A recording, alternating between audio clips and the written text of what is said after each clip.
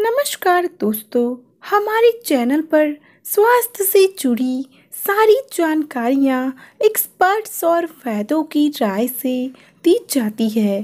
तो दोस्तों, हमारे चैनल को लाइक शेयर एंड सब्सक्राइब करना ना भूलें। दोस्तों, आज के समय में सेल फ़ोन हम सभी के लाइफ की सबसे बड़ी ज़रूरतों में से एक बन चुका है।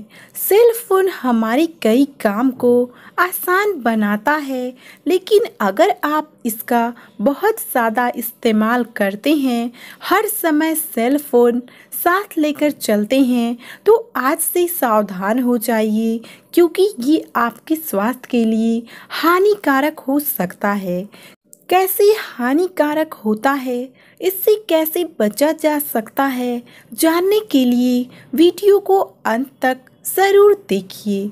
दोस्तों, मोबाइल फ़ोन से निकलने वाला विकिरण आपकी सेहत को ही नहीं, ये आपको कई तरह की गंभीर बीमारियों का शिकार बना सकता है। अधिकतर लोगों की ऐसी आदत होती है कि वे रात में सोते समय भी सेल फ़ोन को बगल में रख कर सोते हैं और इससे निकलने वाला विकिरण आपके सेहत के साथ ही साथ आपके मस्तिष्क पर भी बुरा प्रभाव डालता है। तो दोस्तों, कभी भी रात को सेल फ़ोन अपने बगल में रख कर ना सोएँ। इसे कहीं थोड़ा दूर रख कर सोएँ।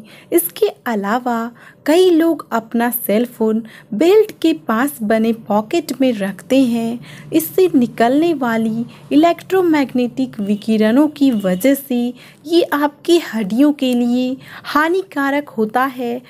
और आपकी हड्डियों में मौजूद मिनरल लिक्विड को भी ये समाप्त करने में मददगार होता है। तो कभी भी अपने सेलफ़ोन को अपने पॉकेट में ना रखें।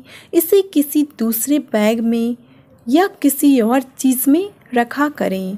हाल ही में हुए W H O world health organization के शोध में ये बात सामने आई है कि अत्यधिक सेल फ़ोन का इस्तेमाल करने से मस्तिष्क के कैंसर का खतरा भी चार गुना बढ़ जाता है। सेल फ़ोन से निकलने वाले विकिरणों के चलते ब्रेन में ट्यूमर हो सकता है। ये विकिरण आपके डीएनए को भी क्षतिग्रस्त कर सकते हैं और साथ ही साथ आपको मानसिक रोग भी होने का डर रहता है। आजकल बहुत तेज रफ्तार से बढ़ने वाली तनाव और अवसाद का भी एक मुख्य कारण सेल फ़ोन से निकलने वाले रेडिएशन के खतरनाक प्रभाव हैं। इसके अलावा अत्यधिक सेल फ़ोन उपयोग करने से कैंसर, हृदय रोग, डायबिटीज़ जैसी गंभीर बीमारियाँ होने का डर रहता है। तो दोस्तों, ये तो थे नुकसान।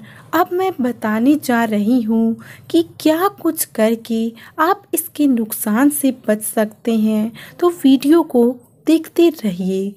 दोस्तों, जब भी आप मोबाइल से बात करें तो ईयरफोन लगा कर ही बात करें, ऐसे सीधे इसका उपयोग ना करें।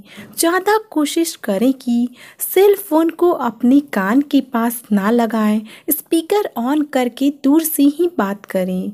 सेल फ़ोन में कुछ भी देखें तो 25 सेंटीमीटर दूर रख कर देखें, इससे आपकी आँखें खराब नहीं होगी।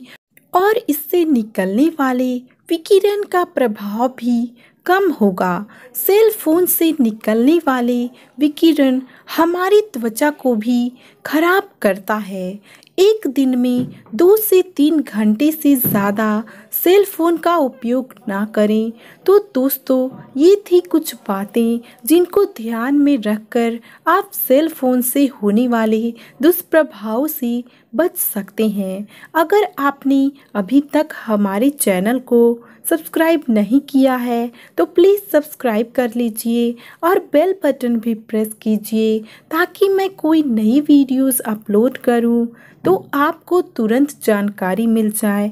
तब तक के लिए बाय टेक केयर मिलते हैं अगले वीडियो में।